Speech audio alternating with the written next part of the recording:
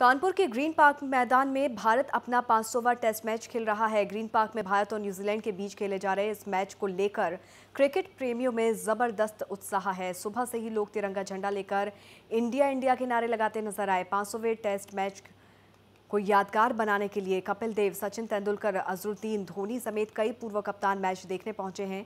आपको बता दें कि यूपी के इस मात्र मैदान पर उन्नीस सौ बावन में पहला टेस्ट मैच खेला गया था।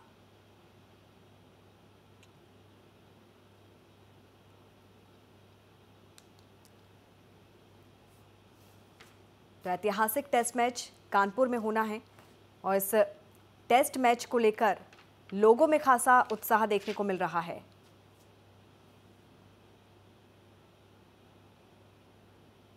पार्क, आपको बता दें, कानपुर के ग्रीन पार्क में पहला टेस्ट मैच उन्नीस में खेला गया था। आज देश के पांचवा जो टेस्ट मैच है, वो कानपुर में खेला जा रहा है। भारत और न्यूजीलैंड के बीच में, आप बता दें, देख ली सुरक्षा व्यवस्था की बात की जाए तो सुरक्षा व्यवस्था यहाँ पे चाक चौबंद, प्रशासन ने पूरी सुरक्षा व्यवस्था की गई, घोड़सवार पुलिस मौके पर पुलिस के जवान यहाँ तैनात है, लोग आ रहे हैं, जा रहे हैं तो कुल मिला मैच प्रारंभ हो चुका है। और इस यादगार पल को बनाने के लिए भारतीय टीम के पूर्व 11 कप्तान आए हुए हैं, जिसमें सचिन तेंदुलकर, धोनी, अजरुद्दीन सभी लोग शामिल हुए हैं। कैमरामैन अनुज तिवारी के साथ अंशुमान गुप्ता, नेशनल वाइस कानपुर। जय हिंद।